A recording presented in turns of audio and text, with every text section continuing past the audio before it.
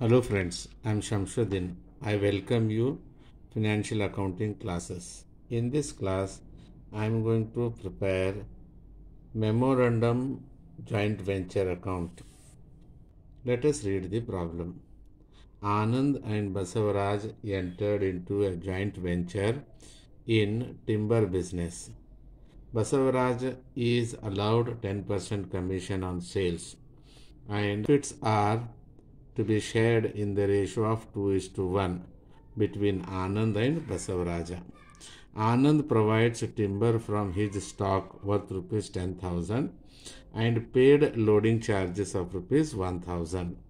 Basavaraja paid rupees 1000 for unloading and cartage. Anand drew a bill for rupees 6000 on Basavaraja, uh, which was duly accepted by him. Anand discounted the bill for rupees 5760. Basavaraja sold 90% of the timber for rupees 15000 and took remaining timber for rupees 1440.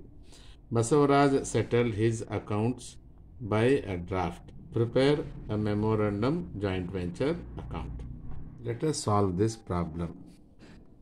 In this problem, Anand has provided a timber worth of rupees 10,000.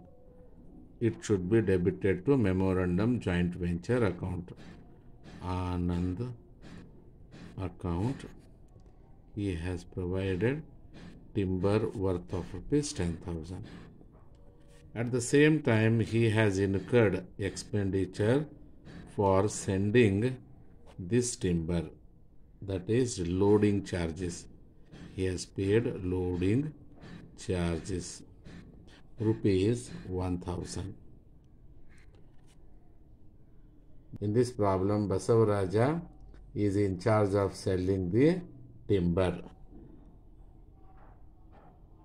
While receiving the timber, Basavaraja has incurred expenditure for unloading.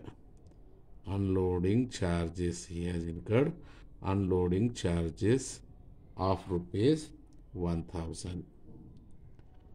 And Basavaraja has sold timber for rupees 15,000. He has sold 90 percentage of timber. So 90 percentage of timber means there is a 10% timber available. Means there is a unsold stock. Sale, sale proceeds. So he has sold for rupees 15,000. And for this sale, Basavaraja is entitled to a commission at 10%. So Basavaraja will get Basavaraj will get commission. Commission is paid on sales. 15,000 rupees sales into 10 by 100. The commission is 1,500. And the remaining stock taken over by Basavaraja unsold stock which was valued rupees 1440 in meantime a drew a bill on basavaraja. For a it is a bills receivable. And a has discounted this bill with the banker.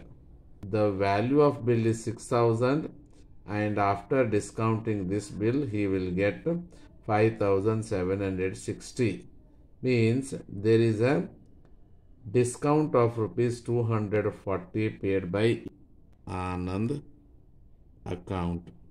It is discount paid by Anand which is 240 after this transaction there is no other transactions then we have to close the account. It is 16440 same must be written opposite side and find out difference is profit and loss account though this is profit because credit side is greater than the debit side.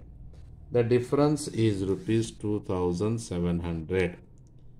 It must be distributed among Anand and Basavaraja in their profit sharing ratio.